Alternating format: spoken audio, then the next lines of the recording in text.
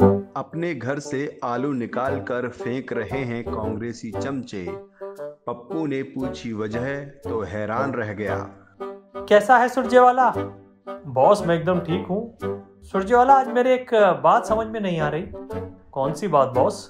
सुरजेवाला, जैसे ही मैं कांग्रेस दफ्तर में घुसा तो मैंने देखा दफ्तर के बाहर बहुत सारे आलू पड़े हुए थे। बिल्कुल सच देखा है आपने बॉस बिल्कुल सच। मैंने भी कांग्रेस दफ्तर के बाहर आलू बिखरे हुए देखे हैं। लेकिन भैया, हमारे कांग्रेस दफ्तर के बाहर कौन आलू फैला कर चला गया है? बताओ सुरजे वाला बॉस आलू कोई और नहीं, बल्कि हमारे ही कांग्रेसी चमचे हैं जो फैला कर गए हैं ये। अरे सुरजे वाला आलू फैलाने के पीछे कारण क्या है? बॉस मेरी बात एक कांग्रेसी कार्यकर्ता से हुई थी जो ये आलू फेंक कर गया था।